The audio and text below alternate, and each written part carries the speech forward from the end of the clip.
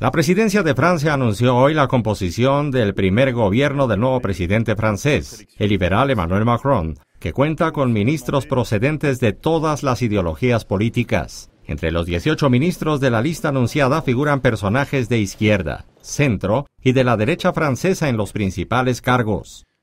Sur la proposición du Premier ministre, le président de la République a nommé M. Gérard Collomb ministre d'État, ministre de l'Intérieur. Monsieur François Bayrou, garde des Sceaux, ministre de la Justice. Madame Sylvie Goulard, ministre des Armées. Monsieur Jean-Yves Le Drian, ministre de l'Europe et des Affaires étrangères. Monsieur Bruno Le Maire, ministre de l'Économie.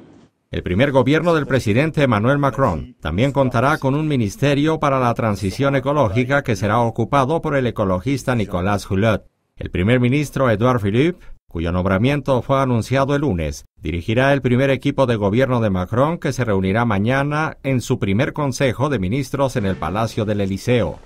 El gobierno deberá ser refrendado en las elecciones legislativas del próximo mes de junio en Francia y comenzará sus funciones hoy mismo, con la transición y entrega de poderes en cada ministerio con sus predecesores. Notimex.